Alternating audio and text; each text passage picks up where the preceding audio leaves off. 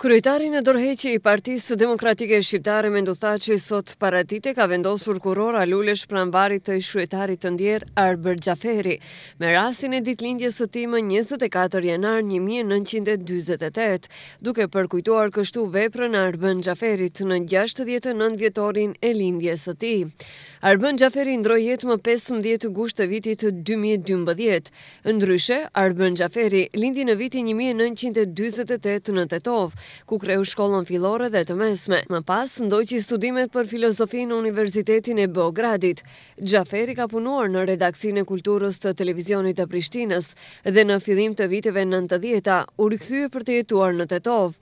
Në vitin një mijë e nëntëqind e nëntëdhjetë e katër themeloi Partinë për Prosperitet Demokratik Shqiptar, e cila më pas ndryshoi emër në Partinë Demokratike Shqiptare.